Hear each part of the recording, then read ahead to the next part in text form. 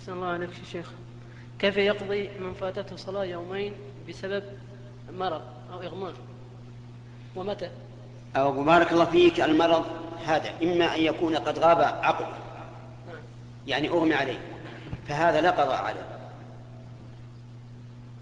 لأنه مغمى عليه فاقد العقل.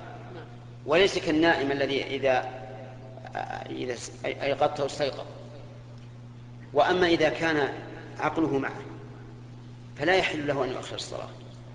يصلي على حسب حاله ولو بالنية حتى لو فرضنا أنه ما يستطيع أن يتحرك ينوي بقلبه التكبير والقراءة والركوع والسجود. لكن بعض المرضى لضيق أنفسهم وكونهم في حرج تجد إذا قيل له صل قال لا إذا عافانا لا صليت هذا غلط خطر عظيم جدا. لو يموت على هذا يخشى أن يكون كافرا ولهذا يجب على الممرضين الذين يمرضون أقاربهم إذا قالوا هذا أن أن يحذروهم يقول يقول صل ولو بالنية النية ما دام العقل ثابتا هل يمكن أن يفقدها الإنسان؟ ها؟ ما يمكن يفقدها ولا يعجز عنها يعني لو قدر أنه عاجز عن الإيمان برأسه والإيمان بعينه نقول الحمد لله النية مفتوحة.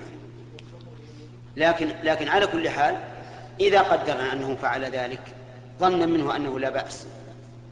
أو كما يفعل بعض العوام بعض المرضى تكون ثيابهم متنجسة ويقول ما أستطيع أن ألبس ثوبا آه، طاهرا ولا أن أغسل النجاسة.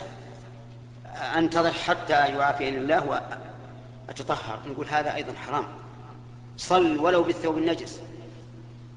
لأن الله يقول اتقوا الله ما استطعتم نعم. بقدر ما يستطيع.